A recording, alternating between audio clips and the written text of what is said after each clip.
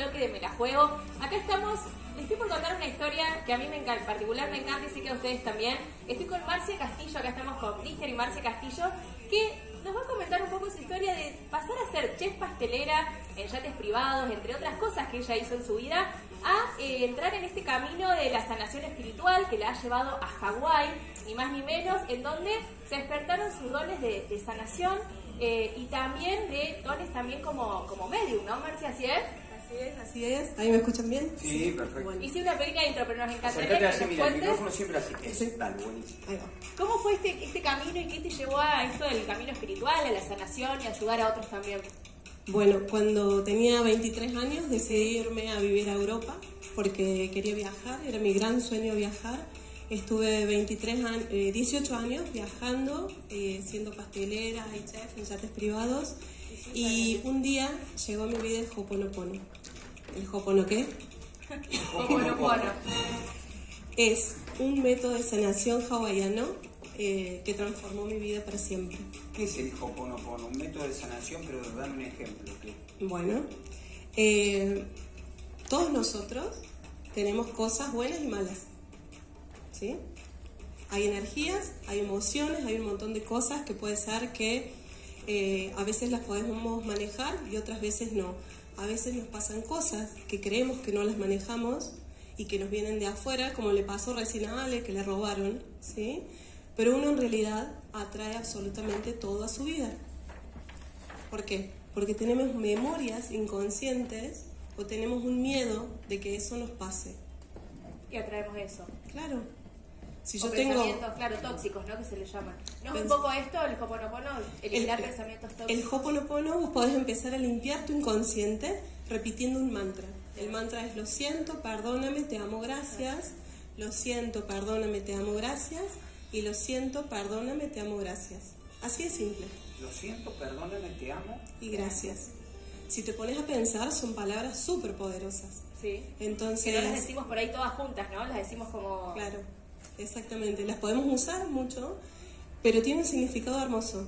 ¿Por qué? Porque empezás a limpiar todo lo que hace que estás atrayendo cosas feas a tu vida. Entonces, cuando haces Ho'oponopono, tu energía se eleva. Si hay gente que no es buena para vos, se va a alejar. Así de fácil. No hace falta que te pase nada malo. Antes que te pase, la persona se aleja. Wow. Y eh, otras cosas que pueden pasar es tener mucha paz interior, empezar a sentirte que estás como alineado con tu propósito Sí. y Pero hay un camino que recorrer para llegar a ese estadio que, digamos, es algo que, que yo tengo que hacer durante un determinado tiempo aproximado o no entiendo. mira, nosotros tenemos 69.000 pensamientos al día, cada uno de nosotros aproximadamente. La mayoría son negativos. Si empezamos a limpiar esos pensamientos, nuestra vida va a mejorar. Con estas, estas cuatro palabras. ¿Y hay, hay algún número que tengas que repetirlas? Se repiten de a tres veces. Eh, tres veces sería una vez. Y si me decís, ¿cuántas veces lo tengo que hacer al día? Te voy a decir, ¿querés tener abdominales para el verano? Bueno, hace la cantidad de veces que harías las abdominales para que tenga funcionamiento en vos. Para O sea, que- más Claro, es, un ejercicio, Es un ejercicio, cualquier sí, ejercicio así que uno es. intenta hacer. Así es. Así es, sí. Entonces, mientras más lo repito, mejor me va. Pero te voy a contar una historia. Cuando el Hoponopono llegó a mi vida, llegó- porque yo quería sanar un resentimiento que tenía con la persona con la que había estado casada durante mucho tiempo. Y descubrí que todo empezó a cambiar. Había gente que se empezó a alejar, pero había también gente nueva que llegaba. Y lo más lindo de todo era que mi vida cambió, pero cambió para mejor, porque todas las cosas eran buenas. Les voy a dar un ejemplo. Estaba trabajando en un yate en Croacia y había una camarera que tenía muy mala onda. Y yo convivía con ella todos los días y un día dije, pero ¿por qué no le hago Hoponopono si tengo esta nueva herramienta? Entonces estaba ahí cocinando todo el día, me pongo a hacer Hoponopono y a las 6 de la tarde viene y me dice, Marcia, vos y yo, ¿por qué no somos amigas? Y yo la miro como diciendo, por el mal hondón que tenés, ¿no? Pero Claro. no dije nada y me dice, esta noche te voy a invitar a tomar un helado así nos conocemos. Mira. Y vos, disculpa, al decir yo le hice Ho'oponopono, eh, ¿cómo sería? O vos de, empezaste a decir esas frases, esas palabras, como que se las transmitías a ella. Yo estaba cocinando y todo el tiempo mientras cocinaba pensaba en las palabras, pensando en, En ella. ella. Sí. Así es, decir, simple. uno, uno- está bien, en- Empecé a entender. Empiezo a entender, no, no, te escucho atentamente. Obviamente que en casa están mirando, eh, hay mucha gente que le, le- le apasiona esto. Sí. que hay gente que a lo mejor necesita Escuchar. de, de esto para repetir. No le haces mal a nadie. No, Lo que está diciendo ella no, no le estás haciendo un daño a nadie. Es limpiarte vos interiormente diciendo y pensando cosas lindas. Eh, por ejemplo, tengo que ir a la municipalidad a hacer un, un trámite y siempre sabes que va a haber un montón de gente, no sabes cómo te van a atender, o sea, puede pasar cualquier cosa.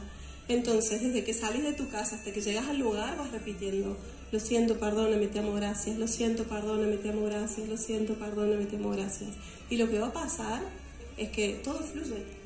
Llegaste al lugar, no había nadie, te atendieron, te atendieron súper incorporar en bien. nuestra vida, desde que nos levantamos hasta que nos acostamos, incorporar estas palabras, que decirlas todas juntas, por ahí como te, te dije antes, uno lo dice por ahí esporádicamente o separadas, pero es como un- se unen y juntan un montón de fuerzas juntas y eso te, te traslada a todo lo que vos vayas a hacer en el día, ¿o no? Así es, así es. Por ejemplo, el lo siento significa yo me hago 100% responsable de todo lo que llega a mi vida, de todo lo que atraigo. Es algo muy común echarle la culpa al otro. Che, me enojé por tu culpa, o che, me pasó esto por tu culpa. ¿Sí? Pero cuando yo me hago responsable, y ese lo siento significa me estoy haciendo responsable. El perdóname es, me perdono a mí mismo y también perdono al otro por esta situación que se creó entre nosotros. El te amo, pongo amor en una situación que no la tenía. Y doy gracias por anticipado porque una solución llega en camino desde la divinidad. Entonces las soluciones que vienen nosotros no las manejamos. Es como suelto y confío. Suelto este problema, confío, repito el mantra del Hoponopono y mi vida cambia. ¿El Hoponopono de dónde viene? ¿Cuál- Eh, ahora entonces cuento, cuento mi historia. Eh, cuando empecé a comprobar todas las cosas hermosas que pasaban alrededor del Hoponopono, empecé a sentir un llamado muy fuerte. Eh, era como eh, el corazón que se me salía. Tengo que irme a Hawái, tengo que irme a Hawái, tengo que irme a Hawái. Y un día no aguanté más y dije, dejo todo, metí todas mis cosas en un container, me tomé un vuelo y me fui a Hawái, porque quería aprender de la fuente qué pasaba. Lo primero que descubrí es que en Hawái nadie enseña Hoponopono. ¿Cómo? ¿Fuiste a no, porque es algo que se pasa de generación en generación. Entonces, eh, los hawaianos se los pasan a sus hijos hawaianos. Es como si fuera un secreto. Ahora ya está divulgado por el mundo. Pero en ese Eh, momento no. En ese momento no tanto. Y mm, lo primero que hice fue empezar a buscar cajunas que son eh, chamanes. Ajá, Y sí. entonces iba a ellos, les pagaba una sesión para que me enseñaran sobre Hoponopono. Y bueno, así Perdón, a aprender. Perdón, bájenme, me está sonando distintas canciones en el, en el retorno. Sí, dale, perdón. Eh, bueno, los cajunas que son chamanes, la palabra cajuna significa guardián del secreto. Bien, sí. Entonces ellos guardaban ese secreto. Pero bueno, como yo iba, me veían súper interesada, como que se abrieron y me iban explicando qué era esto, cómo lo tenía que hacer, qué significaba, cómo iba a cambiar mi vida, etc. Me encontré con gente maravillosa y hasta que encontré un lugar que era eh, una escuela Ahí encontré una kumu hawaiana que ella enseñaba lomi lomi. Lomi lomi es un masaje que se hace con el antebrazo, con el movimiento de una ola, se hace en todo el cuerpo, tiene, es muy profundo, llega a los huesos, en los huesos está nuestra relación con nuestros ancestros. Y me anoté en ese curso de cuatro días porque enseñaban cuatro horas de Hoponopono. Mira si Ah, vos. media loca. Mirá vos, en hay que hacer, eso, te- hay que sí. hacer, ¿no? Algo, buscar y buscar. Hasta Y la das. gente que está en casa y, por ejemplo, dice, bueno, eh, me, me interesa preguntar, ir un poquito más allá. ¿Nos puedes ahí, dejar? ahí te, ahí te buscan en este... en- en- Go Aloha CBA, sí, ese es mi Instagram, también hay un Igual Facebook. nos pueden dejar, disculpa, en el Instagram nuestro, en arroba me la juego ok, o en el número de teléfono, las preguntas que le quieran hacer. Eh, así las pro- los próximos programas les hacemos las preguntas a Marcia de lo que ustedes por ahí sientan saber o sienten, bueno, sacarse alguna información de algo, le preguntamos a ella porque además del Hoponopono hay muchas técnicas, ¿no? Que de todo esto de sanación, registros acálicos, biodecodificación, que nos gustaría que vayamos Mucha profundizando gente habla de la biodecodificación, mucha gente Contanos, habla de esto. que nos cuente un poquito Decime qué es. básicamente y cortito porque quiero que sea un adelanto de lo que vamos a va. hablar la próxima semana. Porque vamos a tomar preguntas de los, de los televidentes. Bueno, la eh, todos tenemos enfermedades. Todo el mundo está enfermo de algo, ¿sí? Cada enfermedad está relacionada con alguna emoción o algo que nosotros tenemos que sanar.